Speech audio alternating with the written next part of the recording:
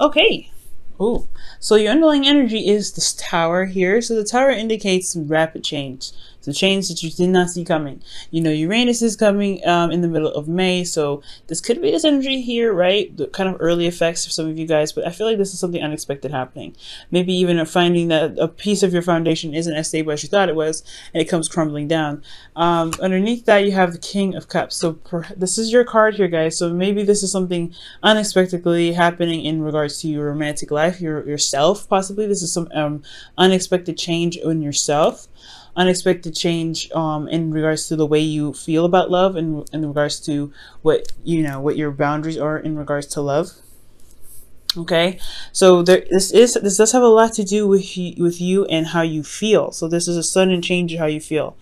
Okay? Um and possibly a sudden change that caused you to feel very differently about a certain situation. Okay? Um now, in your current state of being, you guys have the Ten of Cups. So you guys are completing a cycle. This could this could also be happily ever after for some of you guys that have you know have had a good uh, cycle. This is really seeing the results of what has come about that cycle. Um, for some of you guys, this could just be an emotional ending, an, an ending in regards to a really you know a draining and emotional cycle. So this is ending up here rather good. So this is this is excellent here that I like to see. Now for your goal, you guys have the Six of Swords. The Six of Swords does talk about moving. So for some of you guys, it could be moving. Uh, you could be seeing someone from a distance. You guys could be um, talking to someone that's um, long distance. For some of you guys to have long distance relationships i really get picking this up strongly. Uh, for a lot of you guys you may want to actually you know transition perhaps move from one phase of your life to the next meaning um, pretty much like the death card releasing something or moving or leaving behind something uh, that no longer serves you to be able to be in a place in yourself to manifest or to prosper. Um, so that could be that as well but i'm really getting a sense of traveling here. I feel like you guys do want to travel you guys do want to you know go somewhere but um the thing that's keeping you from you know transitioning or traveling or going a very a great distance is the knight of wands. This could be a sagittarius aries leo um but there is also a lack of passion i'm getting as well. Maybe there isn't a lot of excitement a lot of enthusiasm. There could be someone that has a, um, an issue with commitment right now someone that doesn't really want to settle down. Uh, someone, and I'm not saying this person that this, I don't think this person is a player, but I do get the sense this person is, you know, that is really good at initiating things, very passionate, very exciting, but they have a problem with follow through. They just kind of like get stuff started and seriousness comes in, they get bored. So I um, I do get the sense that there is either no passion in the relationship and you guys are feeling very bored in yourselves in, in your relationships, um, in itself, um, or this could be that you're dealing with a fire sign that is not necessarily committed as much as you would like them to be, or as much as they should be. I think they have, you know, they're fun, but they just don't have that quality of commitment there with you. And the reason why the king, sorry, the knight of wands is coming up is because you have the queen of swords. Um, I think somebody was possibly very blunt with you, or you were blunt with someone. The Queen of so Queen of Swords is usually a Libra, Gemini, Aquarius, and I wouldn't really typically see you guys as the Queen of Swords because you guys would come up as the King, as you guys did underneath the King, sorry, underneath the Tower and the underlying energy. But this could be that you guys are very stern and very serious about what it is that you want, and I feel like also you guys are really good at communicating and being very direct. So, um, for a lot of you guys, this could have been that this person may be a lot more fun, a lot of you know this could be a fling. This could be someone that is not necessarily serious because it was stated so. That was very well communicated in the past, possibly by a Gemini, Libra, Aquarius. Okay. This could be that um, there was a need for conversation or communication here, um, but this person is still having issues. Let me go ahead and quickly clarify this because this one is an interesting pair and it doesn't necessarily tell me why you're not able to uh, travel where you want to go. The Seven of Wands. So somebody, yeah, somebody is not having fun. They're very defensive. Some of these actually probably a little bit more hostile. Um, possibly a little bit aggressive as well. Um, and why is the Queen of Swords the reason why the King of, uh, then sorry, the Knight of Wands. I don't know why I want to say King of Wands so much. You guys seeing a Leo or something? Um, uh, why is the Queen of Swords the reason why the Knight of Wands is blocking them from their goal? because of judgment. There was a change. There was some karmic change here. um, or some uh, uh, transformation of one's perspective and way of communication.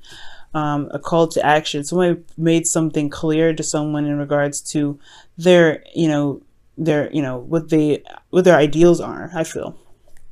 Okay, uh, I feel like that changed the, the the dynamic of the relationship. So there is a lot more like there isn't really a lot of serious stuff. I feel like there is a lot of defensiveness, and there's a lot, a lot, a lot of lack of fun because you guys were completing a cycle here. Um, and honestly, it's draining. I feel for some of you guys, it could be seriously draining. But uh, for a lot of you guys, this could be that there was some, there's a good ending here, but there's something in regards to this commitment. I feel like you guys may have met somebody, but they're just it's just that that weird phase of trying to get into a relationship for some of you guys. I'm not necessarily sure, but we're to go ahead and hit back here in just a second. Um, in your best path to follow, you guys have the Five of Cups. So the Five of Cups is indicating that, you know, in regards to your best path to follow, is really talking about shifting your focus from what is not there to what you can work with currently. And this is very difficult energy to have, especially when judgment comes up and the Tower, because it does, I mean, even if it wasn't there, I mean, the Five of Cups is very difficult energy just because you're moving from one phase of your life to the next and leaving behind what it was lost. And this doesn't mean that you ever forget about what happened. It doesn't mean you ever forget about, um, the, you know, the thing that you missed the most, but it does talk about there is a solution. There is something there that you could still work with. The two of cups is still present. Okay. So, um, some of you guys is, is, this is indicating is indicating shifting your focus from the problem to a solution and to the um to the to the connection that you guys still have here. Okay so i really think that um you guys may be really burdened or really tired and exhausted with the situation as well I feel like you guys have completed a cycle, like I said, so you guys are wrapping this up. So you're ending a cycle here, but it's still somewhat of a burden for you. Um, so yeah, there's a lot going on. Somebody, I feel like this really is, this person is just is super defensive. Okay. Super defensive, and it's just kind of getting a little bit exhausting, but you have reached the end. So I do feel like right now it's just kind of like carrying your weight and carrying what you, you know, carrying what you have home. Okay because you're just tying up the cycle. It's that weird phase before something new begins. And it's also like the result of all the hard work that you put in. Okay. Still got a still like it's still got a little bit of work to do, but something new will come in soon. Now, what you guys hope for is a bit of excitement. You guys want some spark, some something going, something that drives your passion. You guys are, I mean, you, guys' the ancient ruler is Mars, so it makes sense that there isn't, there isn't a lot of passion here, nothing's really going to really get anything going. It's just going to be like, ugh, so for a lot of you guys, this could be that you guys completed a cycle, you guys want to move on and kind of get over it, you know, get over with it, whatever it is, because it's not exciting anymore. It's just not giving you something to work with. It's not challenging you because the seven of wands to me is, is a challenge in itself. Okay, because people are challenging this person with their wands.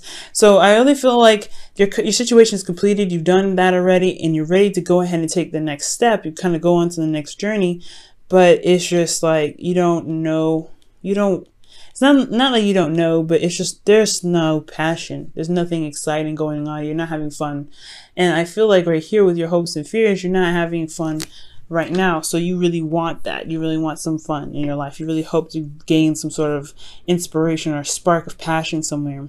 Maybe even receive some news on something that can really get you going but the good news is here, guys, is that you guys have the chariot here as your outcome. So I do see that things will definitely, you know, turn around, but it's going to require a little bit of effort, okay? It's going to require um, a bit of give and take, um, balancing in yourself, balancing your head and your heart, making sure that you're good and making sure that your responsibilities are taken care of. You know, doing the best that you can with what you have and utilizing your, you know, utilizing your you know yourself right? But also maintaining your life as well in the best way possible to get whatever you want. Okay. Now for i'm going to pull you guys your wisdom of the oracle. Co-create. I agree with this because this makes sense. You guys want to make something new start something new. You're ending a cycle that was not only a burden but emotionally taxing. So, um, in in a lot of ways, and I feel like it's just kind of wrapping up something in regards to your emotional well being. And the sudden change is wanting to drastically get things going to get some movement in. That's just, that. This is just as much as the card from Mars as it is for Uranus, in my opinion. This is, I mean, the original, you know, originally this is for Mars, but the unexpectability of being hit by lightning is more of a Uranus thing than a Mars thing because you can, you cannot see anything coming from Uranus at all. Um, so I do really get the sense that, yeah, you guys want to really create and do something. So I feel like really, t- you know, focusing, you're shifting your focus on what you don't have to what you can have is the best way to bring about some create, you know, bring out that passion and that drive to go ahead and create whatever it is that you want. Because the Five of Cups is indicating that switcheroo, right? The leaving behind, you know, not leaving behind, but shifting your focus to to build. Okay, so I really feel like building right now, looking at what you have left, your passions, your heart's desires, like whatever you have here that is inspir- inspirational, you do have it here. It's just going to require you to um to shift your focus, and it's going to be you know I'm not saying this is an easy thing. It's not easy at all, especially when it's something that you've lost that's close to your heart, something that you may not have anymore. That's just kind of devastating to lose. So go ahead and take your time, of course especially when you know you put so much time and effort into building this this you know three cups right to having something so precious but when but don't but remember you don't have to stay here. There are still something that you can work with, and th- I feel like this two of cups is what's going to bring out that burning energy that that Mars energy that you guys have in yourselves to be able to execute what it is that you're trying to aim for. Okay. Now I'm going to pull you guys your whispers of love. Okay, and your whispers of love is actions speak loudly. Wow. And this says express your love through your actions. So yeah i feel like right now yeah i feel like there's just not a lot of things going on. There's not a lot of passion. There's not a lot of action being taken place. Because the page of wands in my opinion that's more that's a very action oriented card. And i know the page of pentacles is definitely more probably more real more physical things because it is talking about being in the 3d but there's no passion. There's no energy. There's nothing going on. Y'all bored. So whoever you're dealing with right now in regards to your um, to your love lives, it's they're not bringing in as much passion either. So I feel like it's concentrating on the relationship, concentrating on what you have. That was that's what's going to bring the the uh, the passion. I feel like you guys have gone through something very difficult, and it's not. I mean, honestly, why do you have to build put the relationship, you know, put the energy and the passion back in with you? I mean, sometimes if someone else isn't going to do it for us, we got to do it ourselves, right? So nobody's to blame. Nobody's nobody did this on purpose. I feel like everybody's kind of going through their own thing, especially when Tower comes up. Rapid change, unexpected things happening. So there was something that may have happened where you know it kind of suddenly change some things, especially in regards to how you felt about your ideal partner here or what, what you feel about love, how you feel emotionally. I feel like there's a definite change in how you are in relationships because this Uranus transit is happening in your seventh house, Scorpio. So this is really talking about how you see your relationships and how you feel about romance and how you feel about romance rather and how you feel about working together with a person or intermediate relationships. And I feel like, well, you kind of, you're going through, you know, you've completed a cycle, but there's no passion here with this person. So I feel like that's what's needed right now. So this is really not a bad reading. It's just requiring you to just kind of look at the relationship and focus on the relationship to build the connection or build the passion in the relationship again. And I feel like with the chariot there, you guys will be smooth sailing. Okay, and also communicate what it is that you want again. I feel like you always already did with this Queen of Swords here, possibly, or someone else communicated with you. And that kind of communication, that hard, like a serious conversation is what transformed the relationship. But it's time to put the fun back in, right? You guys are bored and there's fun needs to come back in. So I do see that you guys may you know, have a little more fun and enjoy your connection with your partner instead of always instead of you know looking at what's gone because of that conversation that may have been a little serious you cut a lot of things out of your, you know, out of you know, circulation for you guys. Okay.